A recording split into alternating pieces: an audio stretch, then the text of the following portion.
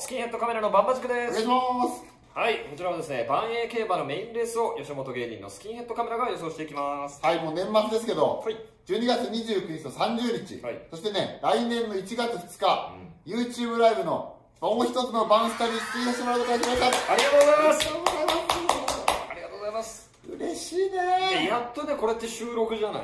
そうそうそうそう。やっとねリアルタイムでお客様にね僕たちの動いてる姿見てもらうことができる。いやしかもね、うん。こう競馬の予想はもちろんのこと、はい。競馬の以外のこともねなんかこう聞いてくれたりそうお時間をねもうちょっといただけて、ね、ああ競馬以外の僕らのプライベートな部分とかもね聞いていただけるいやだから競馬の予想も当てて、ええ。トークももうもう爆発しようもんなら。そうですね。もう何？今までのファンが大ファンになってくれるいそうになりますね。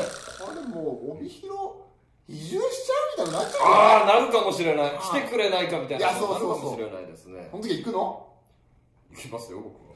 やっぱ暇テンポあるのがやっぱおかしいもんな。じゃあ逆に聞きますよ。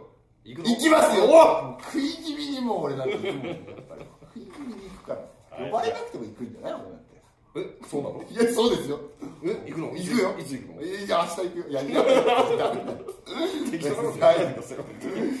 えー、29日30日まずお会いしましょう。お願いします。ということではいそれでは今回予想するのは12月20日のメインレース大犬座特別です。はい、はい、こちら僕の本命は2番のインビクターです。はい。これはもう本当に金層安定して走ってるんでえー、まあ力上位かなというふうに勢いを買ったという感じですね。